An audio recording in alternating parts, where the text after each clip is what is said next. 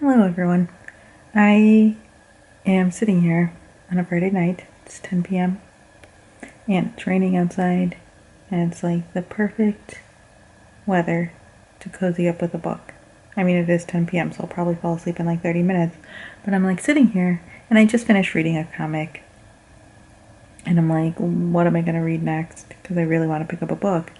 And the only book I have left, well, not the only book, uh, the book I have basically next to read is Anna Karenina. If you watched my um, like reading goals for the last quarter video, you know I had a stack of books that were all basically books that I acquired before January 1st, 2021, and my goal before the end of the year for this quarter was to read all of those books before entering into 2022. And I've basically accomplished that. I have one more comic that I need to read, which I could read tonight or at least start tonight, but I'm just like, mm, I'm not, I just read a comic, I don't want to read another comic. And I'm like, what if I just started Anna Karenina tonight?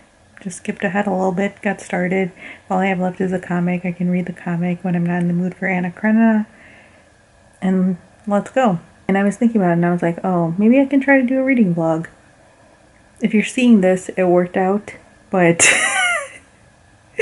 I, I've never really done a proper reading vlog before, so we'll see how it goes. But yeah, I made like sort of a month long reading plan for Anna Karenina, which seems reasonable, and then I made like a two week reading plan for Anna Karenina. It like I said, it's December 10th, so I have about three weeks to finish this book, and I feel like I can do it. I've been reading a lot lately because it's like cold out and I to go anywhere. And I have like, you know, a couple days off for the holidays. Not a lot, but a couple. So I'm like, why not, why not give it a try? So I'm gonna start tonight. The physical edition that I have is the Pev, Pevar, Pevier, the PNV version. Never, I don't know how to say their names. This is the physical copy that I have. Um, I have an audiobook edition of it, which I think is read by Maggie Gyllenhaal. I bought it on Audible a really, really long time ago. I was like, oh, that might be nice, even though I'm pretty sure it's going to be a different edition or like different translation. That's what I'm trying to say. Not translation, not edition. Although I guess there are editions too. Um, and then I have like one of the free ebook copies of it on my Kindle as a way to like read it when I'm like out and about. Not that I'm really going out and about very much anymore. Yeah, that was like a really long way of saying I'm like properly prepared to tackle Anna Karenina. And I'm kind of excited. If you haven't been on my channel for a while or you haven't been subscribed for a while, you might not know this, but like a couple of years ago, I started a project where I would tackle one big book every single year. It was partially inspired by the fact that, like, when I was in college, I would try to do this, or I did this one summer with The Count of Monte Cristo, and it was great because I didn't have time to read these, like, really big books during the school year because school. And so I was like, hey, I really want to read The Count of Monte Cristo, but the edition I have is like 1,300 pages. Let me read this in over the summer. So I think it took me the entire summer to read uh, The Count of Monte Cristo. Then I brought that over to my booktube channel, and like every August, I started doing these big read alongs. So I did Moby Dick, Middlemarch. I did War and Peace, which actually took me two months. And yeah, they've been fun. And I was like, you know, it might be nice to do a reading vlog because I know this is going to take me a little bit of time. So yeah, I'm getting started. Let's do this. Hello. Uh, it is Monday, December 13th. I was literally just looking over at my computer to look at the day and date because who ever knows what date and date it is anymore. So I thought I would do a little bit of an update on the Anna Karenina situation. So I recorded that first clip on Friday. And then Saturday, I also read nothing because I was busy. Uh, and then Sunday was finally the day where I picked up Anna. And the main reason why I picked up the book is because I got my booster shot on Saturday. That's one of the things I did. And so Sunday, I felt terrible. And so I was just like laying in bed basically the entire day. And I was like, you know what? I slept for a lot of it, but for the portions where I was awake, but didn't quite have enough energy to like get up and do stuff i was like you know what? I'm gonna listen to the audiobook of anna karenina. I bought this years ago knowing that one day I would eventually want to read Anna Karenina. And so I was like, you know what? Maggie Gyllenhaal is narrating this might as well get started. So, yeah, I listened to the first eight chapters of part one, and I'm enjoying it so far. I am enjoying the audiobook experience. I think Man- Maggie Gyllenhaal is doing a pretty good job of narrating it. Um, I am only listening to it at 1.15 speed, so slightly faster than one to make it feel like I am making a little bit better progress. But I'm not going to listen to it too quickly, at least right now, because I do want to actually ingest the information well.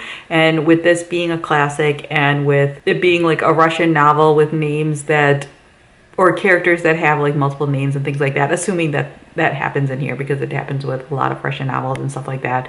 I want to like take my time with it and actually make sure I'm ingesting the information that's occurring because at least for me personally, one of the reasons why I don't do audiobooks a lot of times, especially for fiction, is that I have a, a harder time processing information that comes in audibly versus like reading it. So yeah, that's my update. It's supposed to be a really nice week weather-wise here, so I'm definitely going to be going for walks during my lunch break. So that will also help with me making progress. So my goal is to try to get through around two hours of an audiobook a day because right now we are getting close to it being around like two weeks left in the month, like it's the 13th. So there's a little bit more than two weeks left in the month. And right now the audiobook says that at 1.15 speed, uh, I have about 30 hours left in the audiobook. So I'm like, if I listen to two hours, if I get that down, two hours every single day, then I will be on my way. We'll see what happens. But I just wanted to provide that update. Also,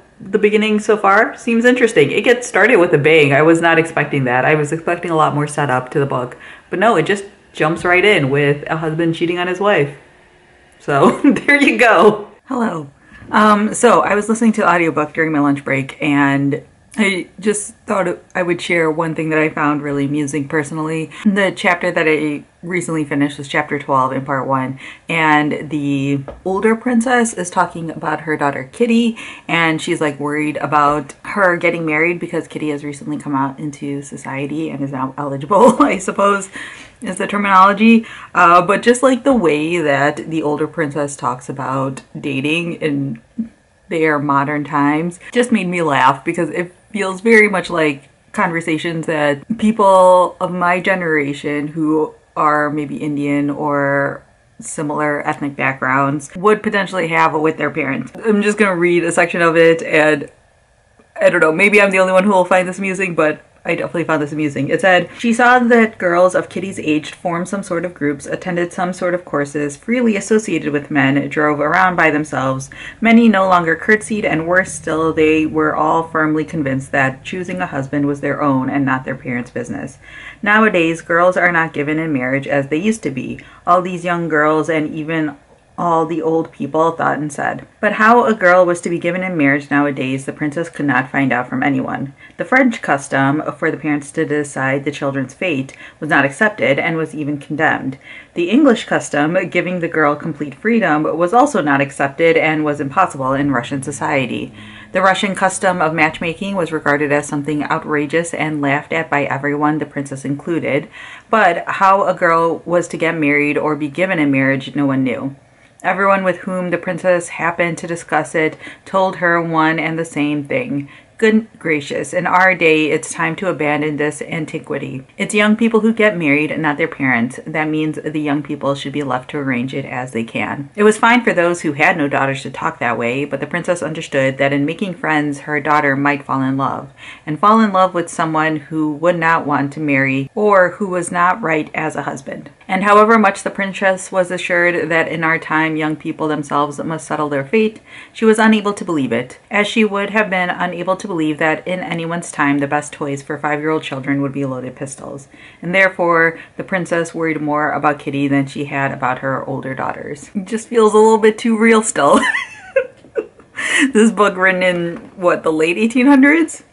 Still quite relevant. I also feel the same way when it comes to like Jane Austen novels. Like I remember very distinctly when I read Jane Austen for the first time. It was Pride and Prejudice, my sophomore year of high school, and my other friend who was also Indian basically said something like, "Oh, the way this is basically like a Bollywood film. Like the way they talk about dating and marriage and all that stuff wasn't super uncommon." so yeah, that was my little chuckle to myself moment while listening to Anna Karenina during my lunch break. And I just thought I would share. Hello. It is Tuesday, December 14th. Once again, checking my computer to see what's happening. Um, that's, I think that's going to be a running theme in this vlog. Me just not knowing what day slash date it is. So I'm going to always look over at my computer to see what it's, what's going on. I just finished part one or like section one of Anna Karenina. If you haven't read it or don't know anything about it in terms of like the way the English translation is set up. I don't know if like other translation slash the original Russian is like this, but there's eight parts and like chapters within each part. So I just finished part one. And one thing that I always do with classic books is I actually read the SparkNotes summaries. I specifically read them after finishing reading the book itself just to make sure I'm fully comprehending everything that's going on. I did miss a couple of things in regards to certain people being related to each other, but I feel like in general I need to make like a character map. Like I know there's like a character list at the beginning of the book. Here. List of principal characters. I don't know, this this feels more confusing to me just because they have like their long official titles and names and then like their little nicknames and like I don't I don't know. Something about the formatting of this just doesn't work for me. I need like a proper tree of people who are connected. But so far, I'm enjoying it. I think it's really interesting that Anna Karenina doesn't show up for quite a few chapters. But I'm assuming that she and Vronsky are the ones who are going to end up together since they're the ones with chemistry in the first part. So it'll be interesting to see how that all goes down. I think I said before that I don't know anything about Anna Karenina really in terms of plot. I knew it had something to do with like a relationship that was like forbidden, so like some sort of affair sort of situation, but I didn't realize she was going to be the one who would be married. So I feel like that makes it a little bit more interesting. So yeah, I uh, have some laundry to do like I need to fold some clothes. I washed my sheets. Um, there's a mess behind me that I'm very strategically blocking. yeah, I have like packages behind me of like Christmas presents and things like that. And so I kind of want to like organize my room, clean up a little bit. And I figured why not listen to the audiobook while doing so? So I'm going to do that and hopefully make some decent progress tonight. Hoping that such like having a tooth out,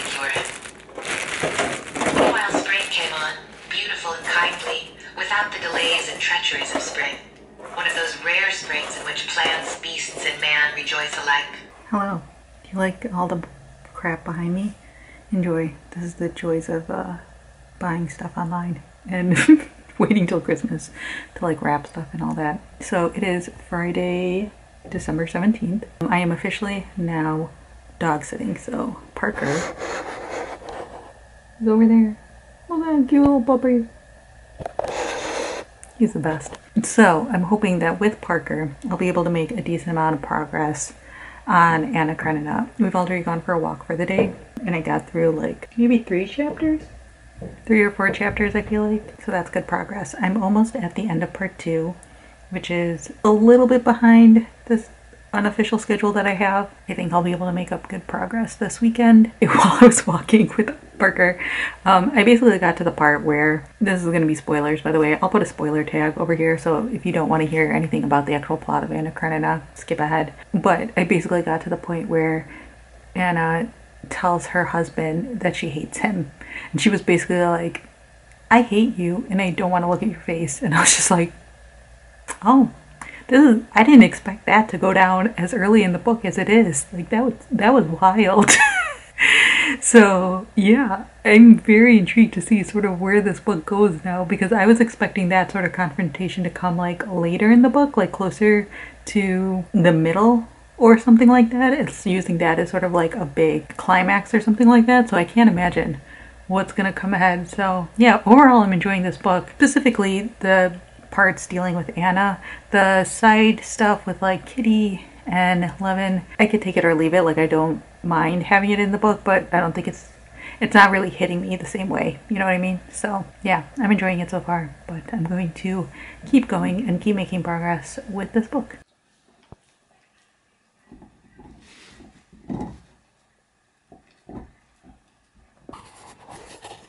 You hear any grinding going on in the background or those chewing noises, it's Parker.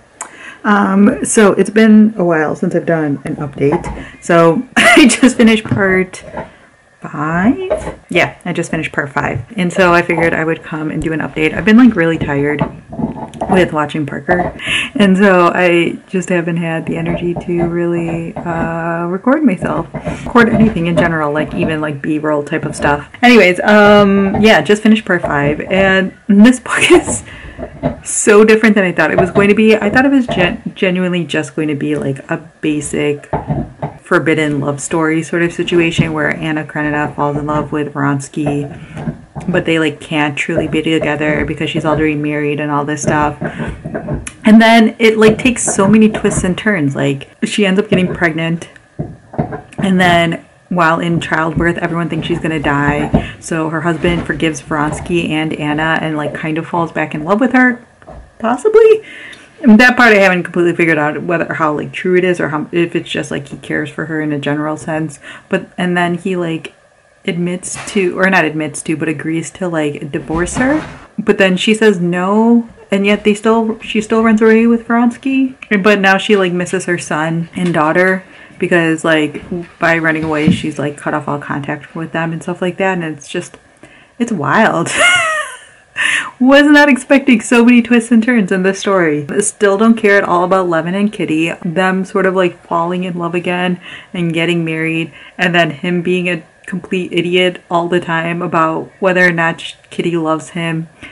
Just, just not into it. Honestly, not into it at all. I would probably skip all those chapters if I wasn't listening to the audiobook of it. This book is interesting, and the parts with like Anna and her husband and Vronsky and all this stuff are my favorite parts, but I can feel myself getting kind of tired of this book. I was talking to someone and I was just like, you know, it's not that this is a bad book or anything like that, but I'm kind of just ready for something else. Like, I'm not like fully invested in this book. I think partially because half of the storyline I don't care at all about. So yeah, I'm gonna like try to power through as much as possible. Today is Tuesday, December 21st, and honestly, the Christmas present I want to give myself is to be done with Anna Karenina.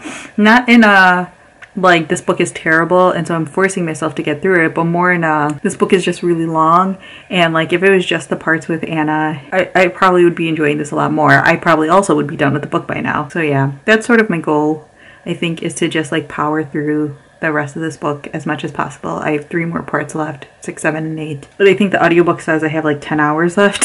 so let's see if I can get through as much as possible in the next couple of days. Hello, it is Friday, December 24th, Christmas Eve. Merry Christmas, although when you're watching this, it will be way past Christmas. I finished Anna Karenina. How very exciting. Anna Karenina has been an interesting experience, partially because I think my expectations of what this book was was incorrect because all anyone ever talks about in regards to Anna Karenina as a person who has tried very hard to avoid spoilers for the most of time or whatever. What is that sentence? I don't know. It's early. I'm tired. Is that Anna Karenina is sort of like this forbidden love story and it ends with Anna throwing herself in front of a train I never knew like the reasons or like what led to that point or anything along those lines. I just knew like those two details. But this book has so much more than that. Your mileage may vary on whether or not you actually enjoy those other elements. Personally, no. I get it. but it's just not for me. So like anytime we were dealing with Anna or Vronsky or anything along those lines, I was like into the story. Anytime we're dealing with Levin and Kitty or any of the other like multitude of side characters that get introduced like Dolly and whatnot, my brain like checked out. It's Russian, so like I know there's gonna be some like theorizing and philosophy and discussions of religion and things like that. But like I, I could just feel my brain just like checking out in those sections of the book. Did I love Anna Karenina? No. Did I enjoy Anna Karenina?